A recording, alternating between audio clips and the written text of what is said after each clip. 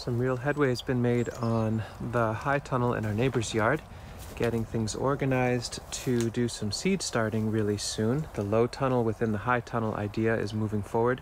And the last few days, well, a lot of infrastructure has been laid in, uh, a lot of the bits that we need to make this work. And so I took a lot of shots as we went along and I'm gonna do a walkthrough where I'm explaining step by step what was done. It doesn't look like much right now, but let me give a quick overview so we're up to speed on this. We've got our water system uh, set up again, broke through the ice in the pond and set up a sol solar panel. We're going to do that in a more thorough way, but we can now use a bilge pump on sunny days to lift water and water directly. I'll move that around as, as time goes on. But that is a nice bit of infrastructure.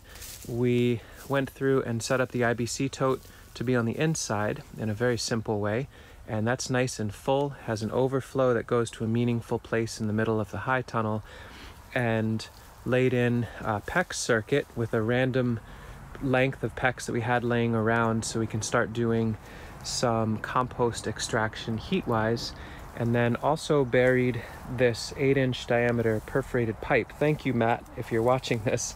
Uh, it was an opportunity to visit with a friend and get that instead of uh, buying it new, we he had a whole bunch of random pieces and we're working with that. And so now the very brief overview is we've got a drainage system that allows air to be drawn off these uh, this set of low tunnels, which we'll scan in the next day or two. There'll be a pump coming soon that will feed into that tube and pump all the hot air from this space down under uh, through this this pipe and then ultimately underneath the tank this will be insulated so all the heat will radiate up into the water and then we've got uh, two full truckloads of chicken bedding in here as hot compost with a PEX circuit buried in there and that can circulate the water even more. So uh, somewhat confusing to describe it that way, but I'm going to pause here as this introduction and then switch over to uh, an overlay of describing what we've been up to with some shots as it went along.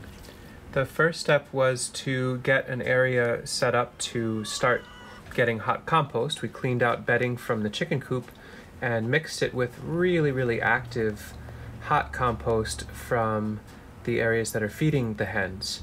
And of course, they helped us to integrate those elements. You can see the steam here. And we put some aged compost in as well just to get some better soil biology and some nice spots of sprouts and worms. Hens had a really lovely day helping us. Then I tracked down some PEX to stretch out through the high tunnel and figure out how to lay it in. Kind of rough sketch so that at least a little pass goes through every nook and cranny. And here it is pinned down with a couple wads of compost here or there in a rough sketch form. And then we took the tubing to lay in for the heat to go underneath. Again, rough sketch laid out in the middle walkway. And here you can see starting to dig the walkway out just a little bit further so that we can lay that pipe as low as possible. And the PEX is off to the side out of the way. Got a hole in the ice and the solar panel set up so the bilge pump can start lifting water from the pond and flooding that central walkway. And that lets us go through and do some digging work to make sure that water will equalize through the whole space. Pretty darn important.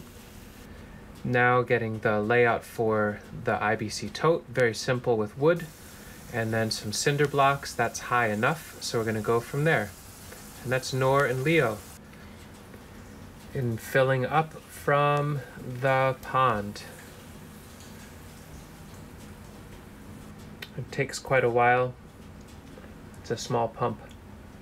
And two days later, that compost pile out by the chicken yard is screaming hot.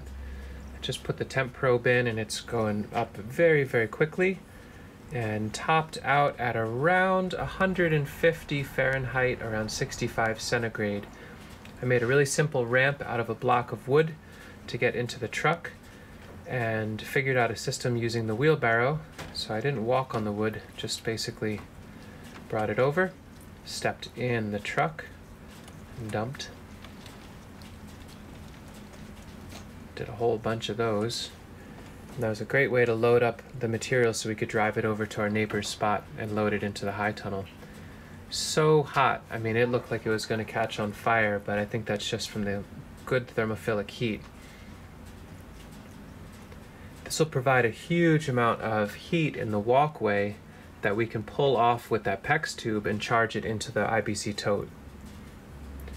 And now I'm starting to bring in wheelbarrow load after wheelbarrow load into the space to bury that pipe in the central walkway.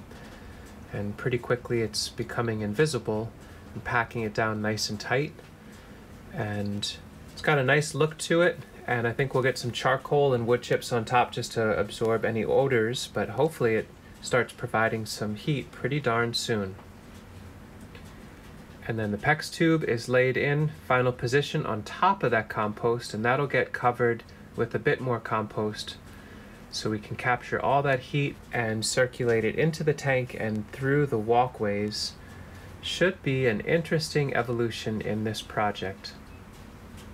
Once we get this low tunnel skinned, which before I do that, I'm gonna fill uh, all of these beds with seed starting mix so we can really get things nice and organized before the plastic goes over.